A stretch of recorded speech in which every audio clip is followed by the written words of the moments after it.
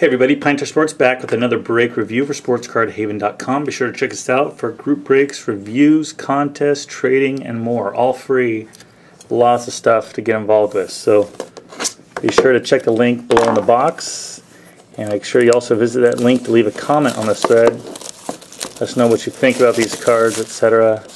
How you've done. And we'll be giving away some of the hits.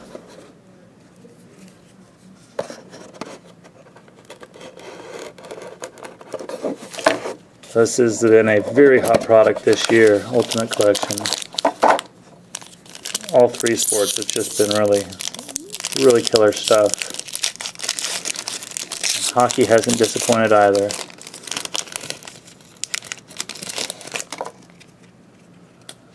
So first off, we have a Marty Turco base to 3.99.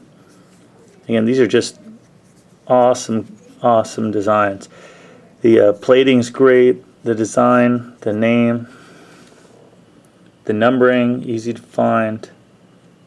Um, and then it's got that uh, texturized feeling to the to the top of it as well. It would be a sweet. Uh, let me turn it so I don't see the next hit. It would be a sweet card to get autographed too. It's got a matte kind of finish to it. In the back, you've got all the essential uh, statistics, so that's pretty cool. Nice.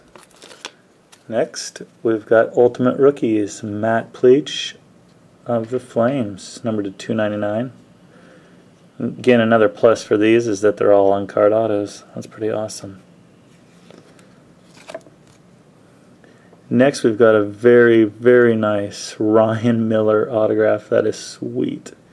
And what's really cool too about these, and this doesn't look to be numbered which is interesting. But uh, what is really cool about these is one, you have the uh, jersey number up here, which is kind of a nice little touch. But a lot of the hockey players seem to inscribe their number as well.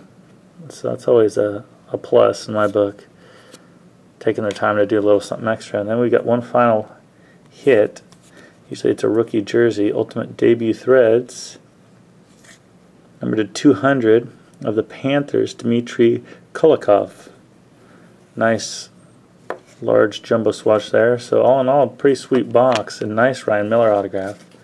And uh, we will be giving away both of these hits just to someone for leaving a comment on the thread linked below. Thanks a lot for watching. Be sure to check us out again at Sports Card Haven.